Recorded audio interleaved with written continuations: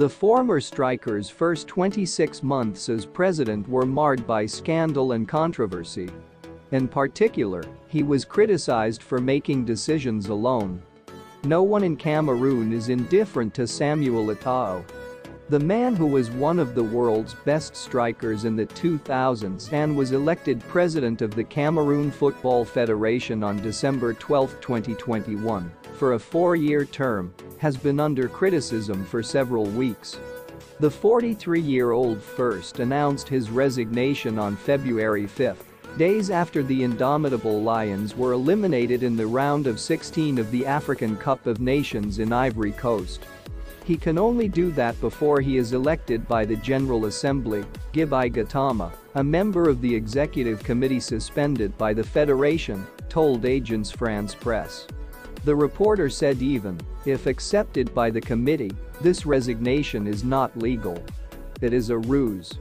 But it is not the fake resignation that worries him and his supporters, but the investigation launched in August by the Confederation of African Football into allegations of inappropriate conduct and match fixing.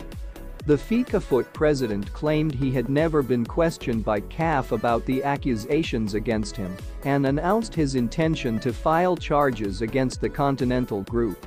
It was too easy to taint everything that I have built over the years in the world of football, the former striker told France 24 on February 28. He said issuing the statement prematurely amounted to unacceptable conduct on the French side. CAF Director General Veron Mosengo did not respond to requests for comments.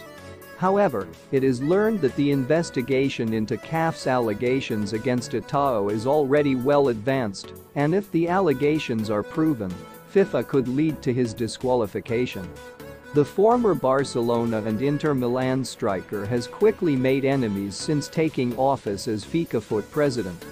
His first 26 months as president were filled with action and controversy, this is not the first time that FECAFOOT's presidency has been the subject of heated debate, but it is not the first time that a well-known figure, loved or hated, has held the office.